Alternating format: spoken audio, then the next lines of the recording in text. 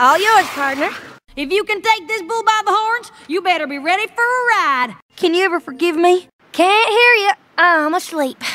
Shoo, shoo, cock-a-doodle-doo. Don't you use your fancy mathematics to muddy the issue. Just run 'em out!